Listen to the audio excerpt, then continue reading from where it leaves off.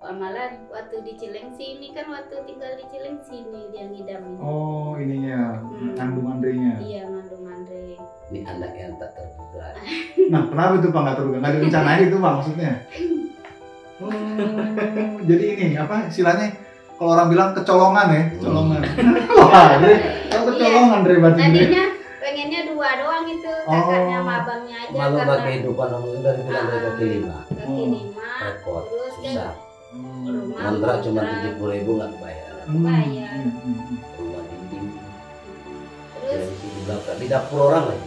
Hmm. pusing-pusing eh nggak taunya periksa eh nggak taunya udah ini ada Andre. Ada yang bilang tak terduga. Gitu. Hmm. Belum ada niat sebenarnya om. Hmm. Tapi enggak.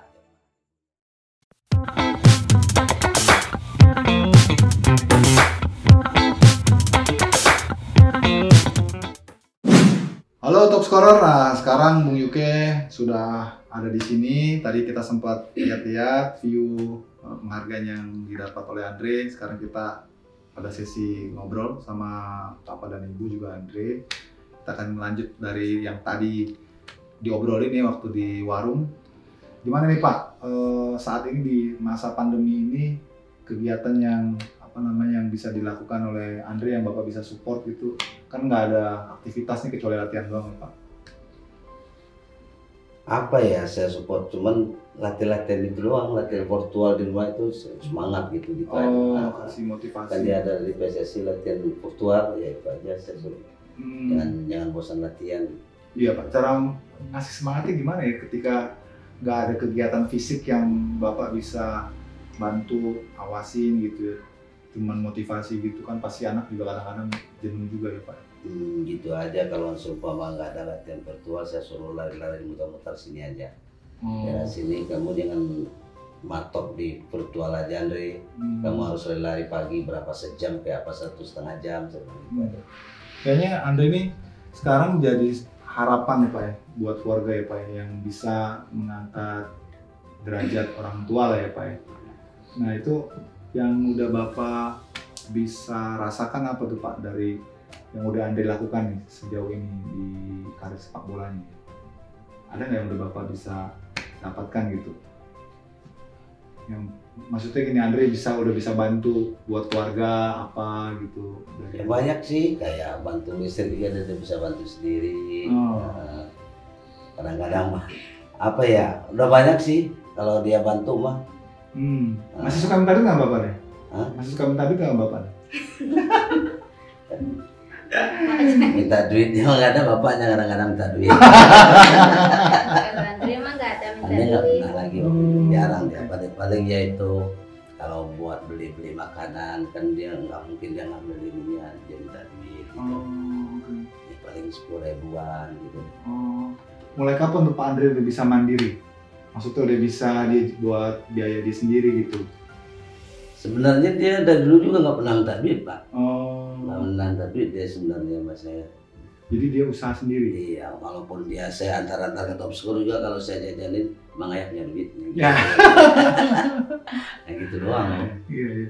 Jadi istilahnya nggak nggak terlalu minta-minta banget sekolah juga nggak banyak dia minta duit paling puluh ribu Hmm. nggak terlalu di dibiasain belanja banyak nih. Oh, oke. Kadang itu juga dibawa pulang lagi. Oh. Soalnya kan antar saya, ntar jemput lagi ya kayak gitu. Oh. Jadi duitnya nggak Utuh. utuh. Nah, Jadi Andre ini nggak tipikal anak yang suka jajan? Enggak, nggak suka jajan dia sebenarnya. Ah, nih boys and girls ya. Iya. Ini pemain timnas kayak Andre aja masih bisa kelola ini keuangannya. Jarang jajan loh. Jadi ini penting juga nih buat anak sekarang kan nih. Iya. Doyannya kan ngemil mulu nih. Kayak di depan saya nih. Ma- makan mulu. Nah, Makanya subur dia. Alhamdulillah walaupun itu juga enggak ada dia jajan.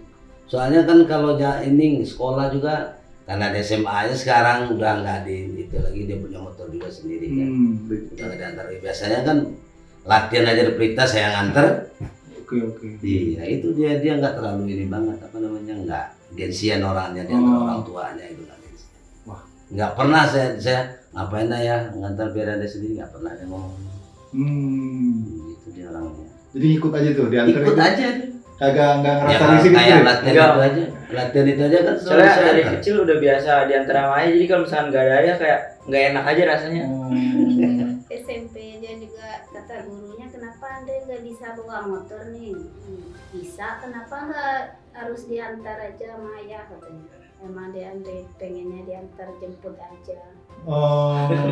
katanya kalau bawa motor sendiri ntar teman-temannya ngikut boncengan bertiga takutnya ntar eh, disangka bahaya. Mm, bahaya disangka ntar tawur-tawuran gitu Oh. ntar dihadang sama yang lain di jalan katanya gitu jadinya dia nggak mau menaik motor sendiri harus ntar telepon jemput jam sekian gitu kalau udah pulang Tapi kan seumuran Arin banyak pada bawa motor sendiri ya Pak. Udah banyak. Kan sekarang kan udah boleh kan, udah Rata. Rata ya. Itu karena bapak udah kebiasaan dari kecil nganter dia ke tempatnya atau karena sekarang nih udah posisinya sekarang udah di timnas, ada khawatir gitu dia di jalan gimana gimana gitu pak. Iya. tetap khawatir, Oh. tetap aja khawatir. Karena kadang dia ke rumah temannya kalau udah lewat jam 9 telepon sama ibunya. Hmm. Dari mana?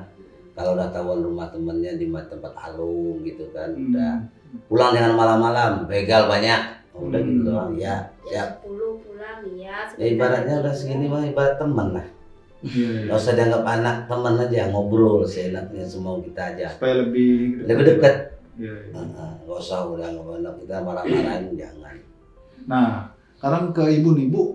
Dulu saya pengen tahu nih, dulu ngidam apa ibu waktu Andre nih?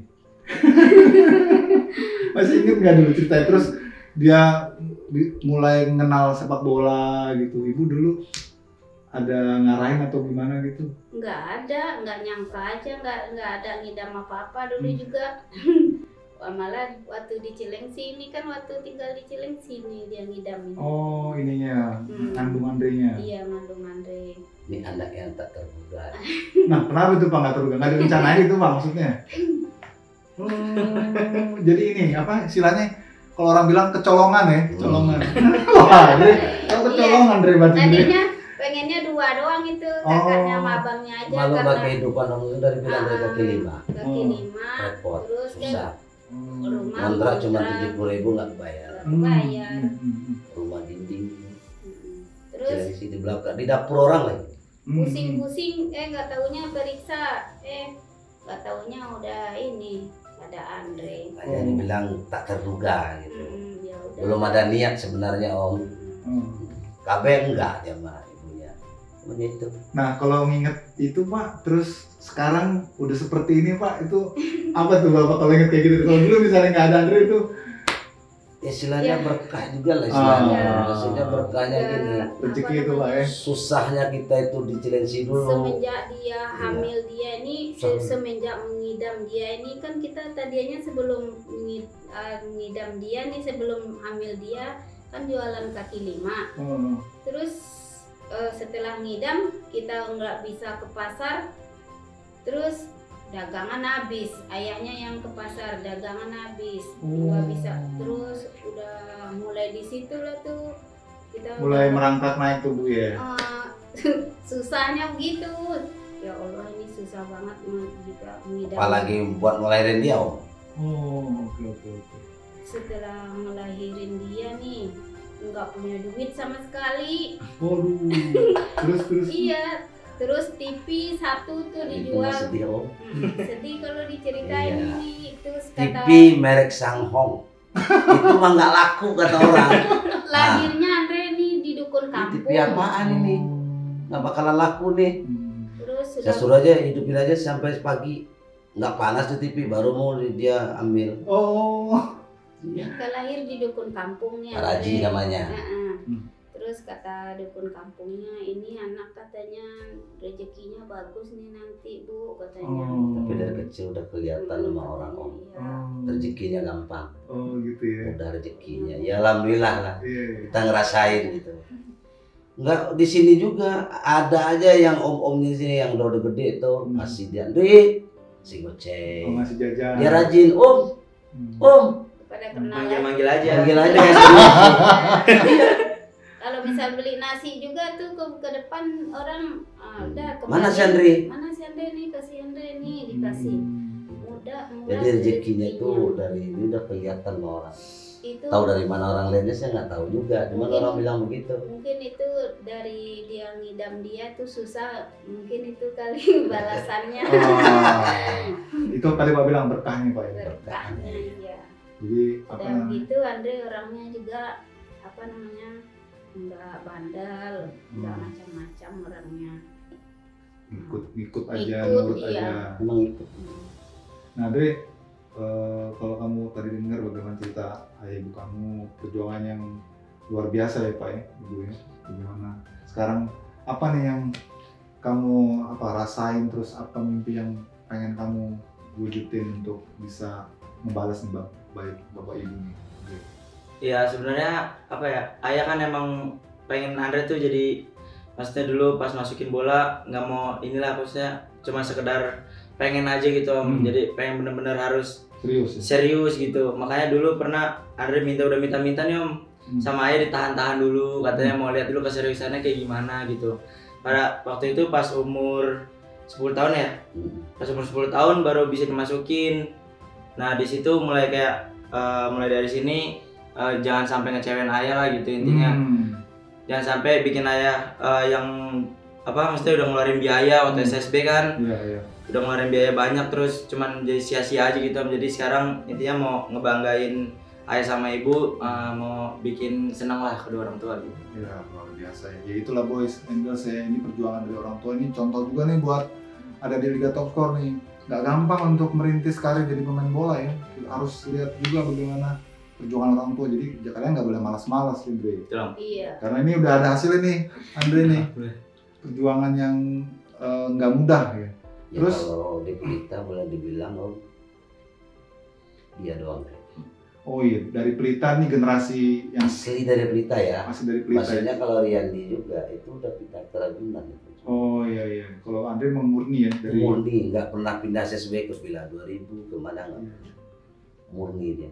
Tapi nih Andre sekarang terbilang udah eh, jadi alumni yang sukses lah kalau di Pelita lah. Ini kalau masih suka tengok ke ini nggak Andre ke Pelita nggak? Masih, Om. masih masih kemarin masih sempat latihan sih minggu kemarin eh Jumat kemarin Hmm. masih sempat ikut latihan bareng ada ya walaupun yang kecil-kecil lah gitu maksudnya masih suka ikut Ya, ikut pada awalnya gitu ya bersyukur juga saya sama Om juga sebenarnya. Waktu itu kan ada apa?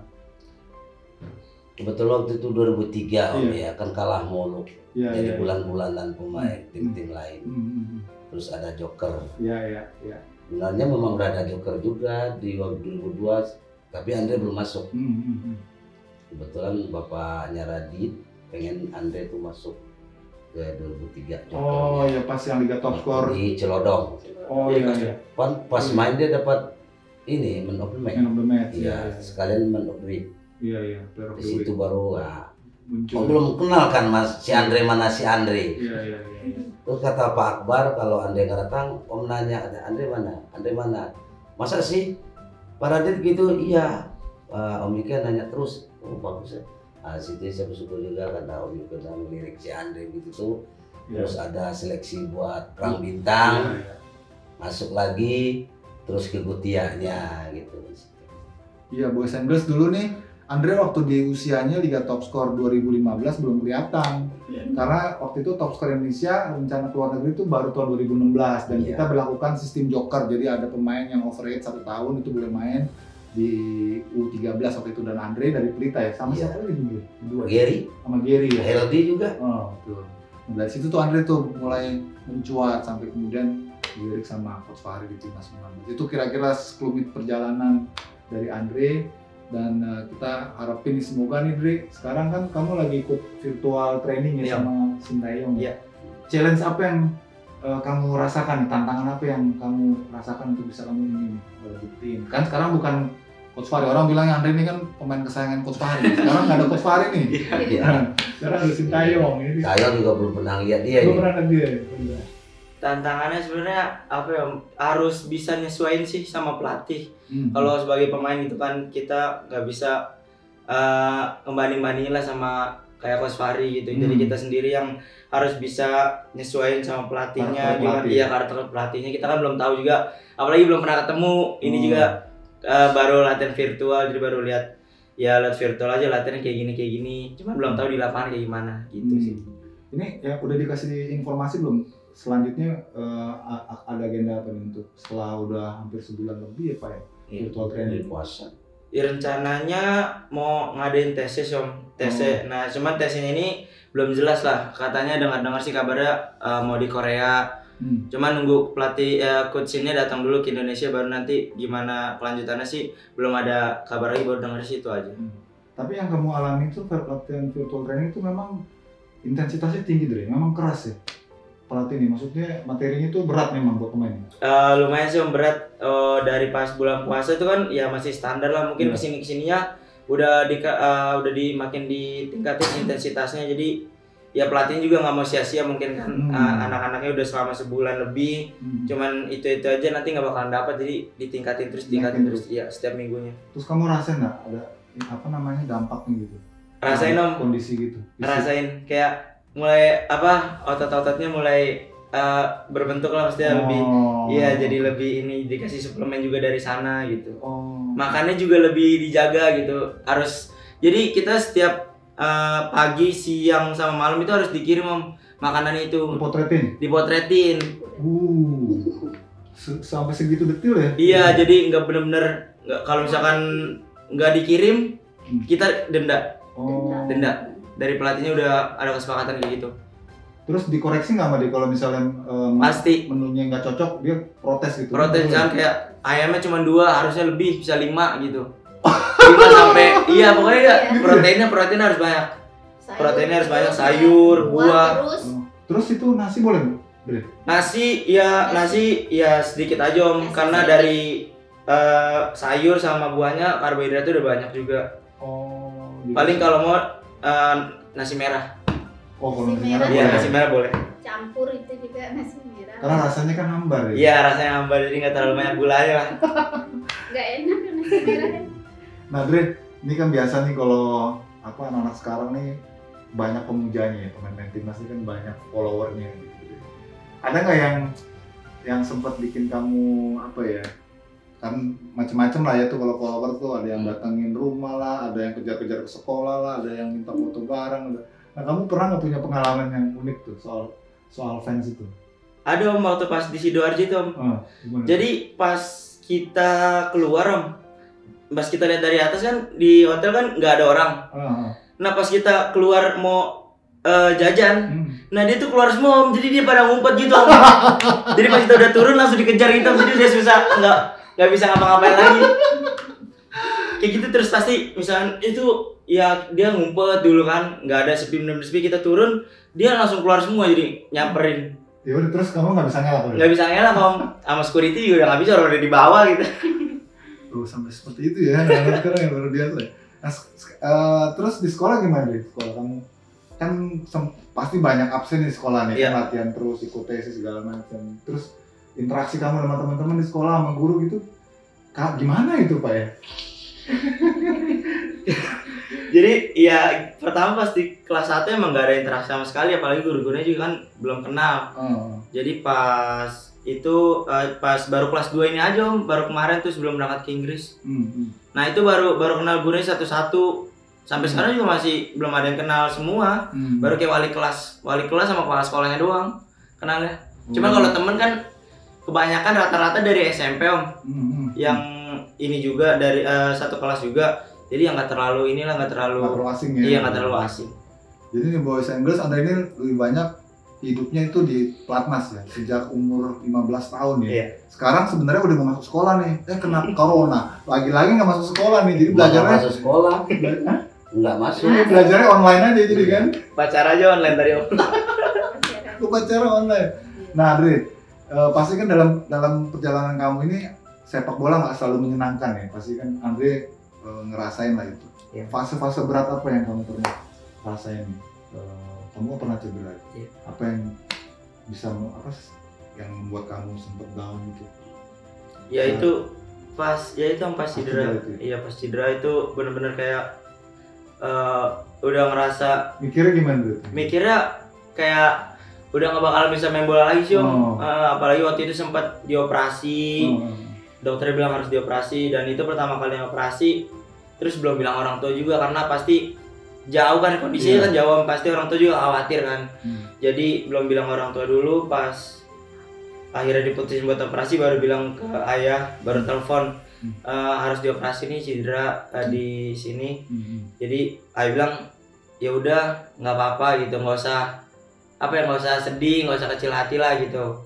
Eh, perjalanan masih panjang. Di sini ayah cuma doain doang sama ibu. Yang penting Andre tetap semangat. Nanti pemulihannya segala macam. Nah di situ mulai kayak eh, ayah udah ngasih semangat. Jadi harus tetap gimana ya mikirnya yang penting waktu itu eh, ya udah sembuh dulu yang penting. Gak usah mikirin timnas. Waktu itu juga timnas kan dekat banget tuh Om. Iya. rencananya habis pulang langsung Timnas. timnas kan. Jadi ya udahlah akhirnya nggak bisa ikut timnas cuman bisa rest terus pemulihan di sini ya udah akhirnya ayah cuma semangatin aja gitu doang Nah itu kamu eh, saat terapi itu kan pasti eh, bosen ya jenuh ya tuh. Itu Iya. Apalagi di Inggris lagi terapinya kan Iya. dingin banget lagi terus sendirian di, di apa di gym kan Iya. teman-teman di lapangan. Kamu gimana cara ini Bre?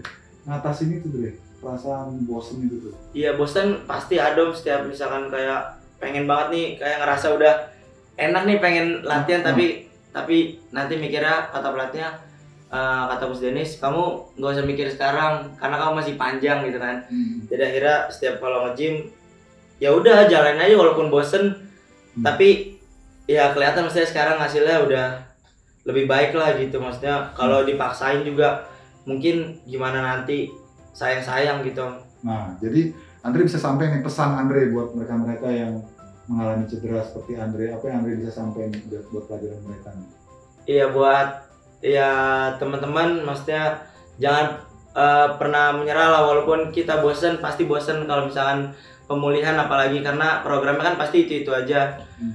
yang penting tetap sabar tetap jalanin apa yang dikasih materinya nanti juga bakalan bisa kembali lagi lebih kuat lagi Nah, Nah, buat ibu nih, ibu sekarang harapan ibu nih sebagai sosok yang melahirkan Andre nih, apa yang bu impikan dari Andre nih buat ke depannya? Apa yang bisa ibu harapkan yang karena nih Andre ini kan boleh dibilang satu-satunya lah saat ini yang bisa membanggakan orang tua ya. Pasti ibu punya harapan, impian gitu. harapan yang besar selalu Apa ibu nih? Mudah-mudahan nanti sehat-sehat aja Hmm. Hmm. apa ya Ibunya ini agak pemalu. malu emang malu tadi aja apa katanya om Hmm. apa yang dia ngomong ntar bingung Ini anjing. waktu Andre cedera ibu ikut sedih dong bu ya? iya iya sedihnya begini om Hmm. dia udah kabarin yang lucunya pas saya ke tempat adik saya itu HP lupa HP udah dicas sampai saya tinggal. Baterainya juga habis. Enggak dia pas mau operasi. Oh nggak ada yang ngabarin jadinya, ibunya nggak tahu. enggak. Dia ngabarin Dia cuma HP ngabarin, ketinggalan dua-duanya. Ketinggalan. jadi saya mau ngabarin pas di Ah. ruang operasi om pas mau operasi. Iya. Mau bilang doa mau minta doanya biar supaya lancar gitu. Tapi nggak diangkat sama ayah sama ibu ya udah akhirnya HP ini waktu mau ke tempat adiknya ayahnya HP dicari-cari mana ya HP Ketemu. ibu nggak ketemu ketemu HP terus kita udah dikabarin sama Andre jam segini ntar jam sekian mau operasi katanya. Udah gitu kita pergi ke tempat adiknya tempat adik ayahnya. Terus nyampe di sana udah jam 9 pulang. Nyampe di rumah presiden waktu sore jam berapa dia waktu itu? pagi. Pagi ya? Operasi iya. Terus Jadi kan pas tahunya udah selesai operasi malah. udah. udah Iya, udah dilihat. selesai. pas udah siuman udah langsung video call. Ya, ini banget. Itu dilihat HP ya Allah panggilan tak terjawab banyak banget. Tadi dia nelpon sama itu Vini. Hmm. ini Nanya. ngasih tahu. Iya ngasih tahu. Tahu kiranya oh astaga benar kita itu kan Bapak rasanya gimana waktu? Sok juga pak dengar. iya maksudnya gimana ya kok bisa bisanya HP sahabat tinggal di warung dia juga nggak temu HP-nya mau Kok berangkat bisa itu begitu? HP di mana ya di nyari nyari Nggak, tapi waktu itu bapak tahu bahwa Andre udah bakal dioperasi. udah dia kan udah ngomong Udah. Oh, sebelumnya dikasih tahu. Cuma Ya, nggak tahu jam ini kapan. berapanya gitu kan dia udah ngomong om kalau dia pagi kan di sininya sore ya dia ya waktu itu ya Iya benar. Iya. dia sore kan Nah, itu masalahnya Om. Tinggalan apa dia nggak ketemu HP-nya saya dicas tinggal juga di warung. Saya pergi tempat adek. Dicari-cari nih HP nggak ketemu mau berangkat. Eh, temannya itu Nggak ceweknya taunya cuma abangnya. di atas itu doang, di atas galon air ketutupan. Ya, itu tadi ya alhamdulillah kan ya berlanjut ini berhasil lancar. Iya. Hmm. Nah, Andre ini kan sempat kehilangan momen saat Piala AFF U18 ya Pak ya. Waktu itu kan karena cedera. Nah, sekarang Andre dapat kesempatan lagi dipanggil oleh pelatih Sintayong untuk ikut eh, TC lah istilahnya virtual training di U19 buat World Cup nih. Harapan Bapak nih Pak, ini kesempatan yang kedua kan buat Andre buat masuk timnas. Apa nih Pak? Ya harapan saya itu sebenarnya gam simple aja Om. Eh, Semangat ya kan ikutin ya, instruksi pelatih hmm, hmm. Nah, latihan yang rajin aja gitu ya udah saya Sisanya berdoa sama berdoa sama Allah Nah, Dre gimana Dre? Optimis nggak Dre? Kali ini bisa masuk Dre? pasti om optimis banget karena ya emang eh, kesempatan juga om karena Piala Dunia juga kan jadi harus Nah, bisa lah Hmm. banggain masyarakat Indonesia, banggain orang tua juga. banggain kota Depok juga Banggain kota Depok yang Pak. Oh, Oke, Ya. saya kira cukup ya boys and girl, bro and sis, obrolan kita lumayan juga panas nih. Iya. Ibu, makasih banyak udah dikasih kesempatan Andre juga. Kita semua di sini doain semoga Andre lancar, Amin. bisa terpilih masuk skuadnya uh, timnas U19 buat Piala Asia ya, Dre. Iya. Yang terdekat nanti kemudian Piala Dunia syukur-syukur Andre juga ikut terus Piala sampai ke. Piala Dunia membanggakan bangsa dan negara dan bisa ikut mengangkat sepak bola Indonesia. Oke, kita sampai ketemu lagi di acara ngulik keluarga alumni berikutnya. Sampai di sini, terima kasih. Assalamualaikum warahmatullahi wabarakatuh. Dadah.